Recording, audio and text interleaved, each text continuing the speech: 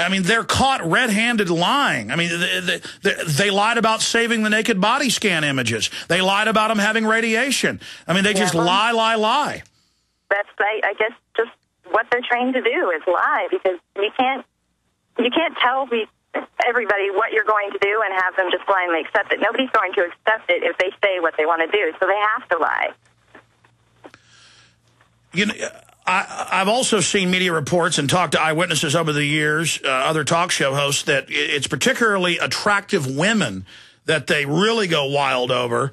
Uh, yeah, I, I actually spoke to my mother shortly after this whole incident happened because, you know, obviously I was just stuck in uh, Florida at this point, and so I was just calling mom to tell her what happened, and she said that, you know, she flies a lot, and she's not an non-attractive woman, and she has very, very large breasts. And she said every time she goes through, she always gets picked. And even when she flies with my dad, which my dad is kind of a shadier looking guy, my, my mom is not shady looking in any way, shape, or form, but she's always the one picked. And it's just because, you know, we're women and people get to touch us then. And nobody wants that. I don't know anybody who feels safer as a result of that. I don't. Well, there's a, there, there's a thuggish type of mentality that enjoys forcing something uh, on a woman. And I'm sure you've seen the reports of them planting drugs on people and then demanding oh, yeah. sexual favors or how many TSA workers have been caught being pedophiles. I mean, this is the job to get if you're a control freak scumbag. Oh, yeah. And it's the type that is attracted to that job as well. I mean, nobody who values people or the human race in general would ever be attracted to a job like that. It's just the horrible people who have no moral judgment on their own and are willing to blindly follow orders no matter how far they take it. And I kept asking them, what's your line in the sand? At what point do they give you an order that you say, no, that goes too far? And they just said, we're just following orders. You know, it's all for the greater good. And I think there's no good being gained here. I am just following orders for the homeland. I mean, look at the nomenclature. The homeland, the troops, the face-scanning cameras, you know, papers, please. It's not papers, please. It's shouting at people and groping them. I mean, this is insane. Yeah, I've never had so many grown men with guns screaming at me for no reason. It, it was so frightening. And well, Meg, you know? that's what this is all about. It's about making us the terrorist and training us that we're bad and that we're going to be shouted at by our government protectors. And notice, this is all happening right as the economy implodes, right as the global government's being announced, right as the police state's unfolding. It's all been timed perfectly, Meg. Yeah. What do you think of the backlash uh, to this? And I don't know if you're tracking it, but I mean, the internet, mainstream media is on fire with this, and the establishment media is trying to promote it like it's a good thing, but people aren't listening to them anymore. Yeah, and uh, like I've been really immersed in the whole TSA issues for a while. I mean, I did a video long ago with um, Sam Dawson of Obscure Truth, and uh, you know he was harassed throughout that entire thing just for having a video camera, and so it, it's it's something that I followed closely, and it's very dear to my heart because I feel so bad for especially like crime, uh, sex crime victims. I mean, I don't even know what they go through when they have to deal with that. I, it's something that my heart breaks for them, and to see like people putting their children through that, that's like watching somebody beat a child on the side of the road. I can't just keep my mouth shut about it. There's nothing more I can do other than speak up. Well, that's wonderful, Meg. I mean, this is human dehumanization, degradation. The airports are giant re-education centers where we are indoctrinated in the religion of tyranny and abuse. Yeah, and I can only hope that, you know, the people who had to walk around me during that entire hour at least saw what I was dealing with and what I was heard what I was saying because everything I said, I was obviously not a threat to them, and it was all just about you know, making me feel as stupid and, you know, as bad as possible, even though I hadn't done anything, and I wasn't going to accept that. Well, Meg... So I hope that the people who saw that took that with them. Absolutely. Look, when we resist, we educate others, and they want to intimidate people and make it very uncomfortable, so you don't resist. Because imagine what's coming after this if we put up with this. Yeah, I, I can only imagine, and I really don't want it to get to that point. And I always tell them, like, I'm doing this not just for me and for the, my loved ones, but they're the face of whatever, you know, crap the government throws down on the people. And so the people, when they're pushed too far, they're going to snap and they're going to attack these people who are the face of the tyranny, not the actual tyranny itself. And so I'm trying to help them as well because they're on the losing side of a war. And I don't want anybody to get hurt in this. I just want them all to realize what they're doing and step away. They're on a losing side of a war. You can feel the momentum towards liberty in your gut, can't you? Yeah. I mean, I, I packed up and moved away from. I love my grandpa more than anything in the world, but I had to move to New Hampshire because, you know, it's a place where we're actually doing things to move it to that point, and we've had so many successes. And you know, I even though it was heartbreaking to give up living with my grandfather, I had to do it. How bad was the police state in, in the previous state? In uh, uh, Oregon? Yeah. I'm sorry, what? Yes, in Oregon. Um, it it wasn't horrible, but at the same time, like it is a very liberal community, and so they like their police. And I I was never really an activist there. It's it's a little bit more difficult when there aren't very many uh, like-minded people around, and so I understand. You wanted to get out of the zombie-like environment. Yeah, it's just everybody sort of it takes government as a given there, and you know it's just one of those necessary evils of life, and, and any evil doesn't have to be necessary. There's no such thing as a necessary evil. Meg, I want to talk about your ideas to get on the offensive and to remove these machines and the groping that's going on and the abusive behavior. But then we have to talk in that solution about dealing with the stage terror. And this is something that a lot of libertarians and people don't want to touch Though Noam Chomsky, a liberal, he's now come out and said Bin Laden had nothing to do with 9-11. Because if you...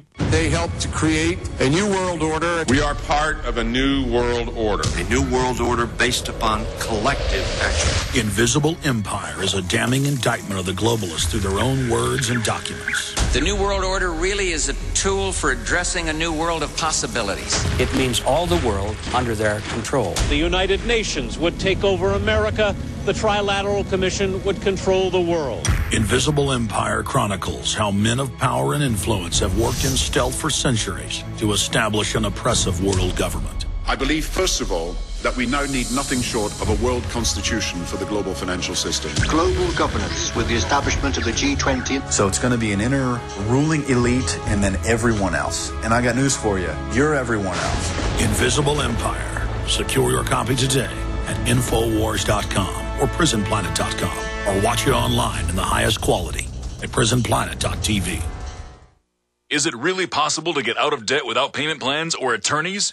18 years ago, we developed a program that has made thousands debt free in just 90 days. It's called Zero Debt in 90 Days, and it works for all credit card debt, medical bills, even collection lawsuits. When I first joined, I was being sued. So I used the program methods and after filing one piece of paper, the collection lawsuit was dismissed. With zero debt in 90 days, your success is guaranteed in writing. There is no other program of its kind. Don't be alone when creditors gang up on you. Let our team of experts provide the resources to fight back and stop creditors in only 90 days, guaranteed. Prevent wage garnishments, bank levies, and stop collection calls with our proven program. Call zero debt in 90 days now, 800 477 9256, and ask for free information from an expert who also completed our program. 800 477 9256 or zerodebtguaranteed.com. 800 477 9256 or.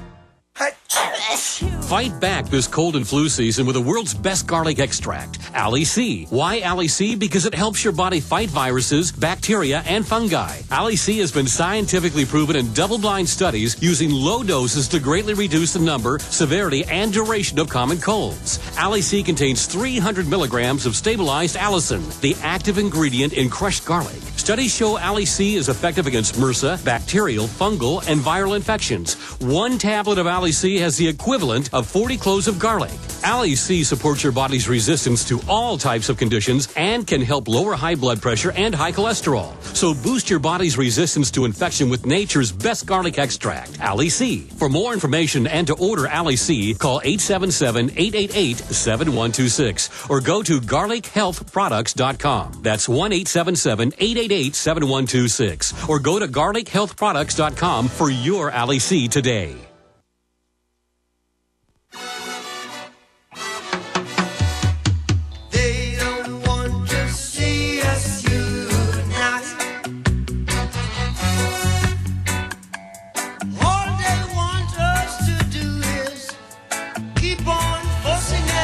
Up on screen, I have the Daily Mail. Dining with the enemy, Al Qaeda leader linked to 911 hijackers was invited to the Pentagon lunch two months after the attacks. Here's Fox News. Failed Al Qaeda plot involving showing bombs inside dogs. Now they want to ban dogs flying. Meg McLain, here's the issue. If we don't talk about Gulf of Tonkin and other staged terror attacks, or that Anwar al-Awlaki's run all the major terror attacks and is admittedly government, they're going to continue to mail toner cartridges and blow stuff up and say that it's foreign shadowy men doing it. They have the trump card or the checkmate or the ace of spades, the royal flush, if we don't come out and talk about stage terror. Uh, I mean, what's your view on that? Um, well, my view is I, I don't really care, you know, what's been done or what, you know, could happen. It's what you're doing today to people is inappropriate. And for me, it's just, you know, it doesn't matter the past or the future. It's today. Sure, sure, but but, but Meg, it does matter if the TSA works for the group that staged the terror attacks. Well, obviously it does, but um, you know, I can't convince anybody of anything other than what I am experiencing at that moment. And so, what are your ideas? You know, what are your ideas to counter this? Because I want to read Texas law here uh, in a moment. But what are some of your ideas uh, to respond to this? Obviously, expose it. But what else? Um, well, for me, like you know, different strokes for different folks. There's all different kinds of uh, great activists and great actions that can be done. But for me personally, it's just saying no. You know, if enough people refuse, there's nothing they can do. I I don't know if you've heard of um, the 420 celebrations in my hometown now of Keene, New Hampshire, but we just started gathering on the city square and open, openly smoking cannabis to, you know, fight the drug laws. Sure, so it's the Gandhi uh, uh, nonviolent resistance. Uh, yeah, and there were some arrests, but now we've basically created a demilitarized zone where anybody is safe to go in there and smoke weed anytime they want. They won't be bothered. And, you know, that it's a great success story. Well, the government doesn't like marijuana because that's, that's the only drug they don't mainly ship in. Let me read to you yeah. from Texas, and it's the same in all 50 states. That's an important headline. TSA breaking state and federal laws. Right beneath Section 2111, indecency with a child, is Texas defines assault as follows, sexual assault of any person uh, commits an offense if a person intentionally or knowingly causes physical contact with another when the person knows or should reasonably believe that the other will regard the contact as offensive or uh, provocative. And then it goes on in other sections. If it's a sexual area, it's even more time in prison. Uh -huh. uh, so yeah. that's uh, that's uh, pretty serious. I mean, they're breaking the law right there. Yeah, and they just excuse it in their heads with this, you know, code word terrorism. That, they gave me a 30-minute lecture while I was in that chair on terrorism. They said that, you know, 17 of the 19 9/11 hijackers came through that airport, and I was like, so you guys suck at your job too? And you know, that for me, the only thing I can do is just keep saying no and keep yeah. teaching people about these things. And, well, Meg, I mean, there you go. Yeah, sure, but there, I mean, I've interviewed the former head of the embassy over visas. They were ordered to let them in, just like the underwear bomber was ordered to be helped on the flight, source Associated Press. This is not an accident, it's my point. I mean, they didn't yeah. screw up their job. They did their job. They were ordered to let them in. Yeah, it's just, uh, they did a really bad job because, you know, their job is that it's hurting people. That's all they do is hurt people. They don't keep anybody safe. And, you know, they were like, well, we're keeping you safe. And I just said, you know what? At this point, I would rather take my chances blowing up in the air. Well, Meg McLain, we really appreciate you joining us. We appreciate your courage. Uh, your spirit of liberty is an example to us all. We salute you. And uh, uh, we got about 10 seconds. How did you get back home? Did you drive home from Miami? Um, I'm actually still in Florida. Oh, so this just happened? Yeah, this was about two days ago. Unbelievable. So. Folks, retransmission starts now. Infowars.com. I'm Alex Jones. You are listening to GCN. Visit GCNlive.com today. Hundreds of nations have fallen to tyranny in the last century alone. This is our last chance to not re